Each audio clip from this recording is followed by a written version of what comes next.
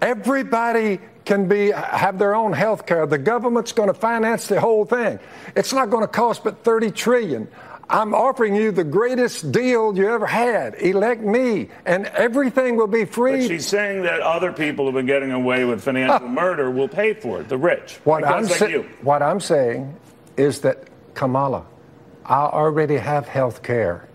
It's given to me by God, eternal health care. I'm guaranteed to be raised from the dead. I have life and immortality given to me by God through Jesus So people Christ. get sick on Earth in And- human form. So and- and they would get- you advise the temporary reprieve is not worth it. I'm telling her I have eternal health care and it's free.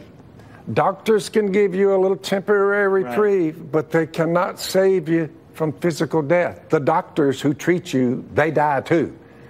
But you're not dismissing that we need people need health care, right? It's just who I didn't have health care for 50 years, and someone says, now I'm rich and famous. So I said, Miss Kay, you can buy every kind of insurance known to man if you want to. Well- but I, I never needed it for 50 years, so there you go.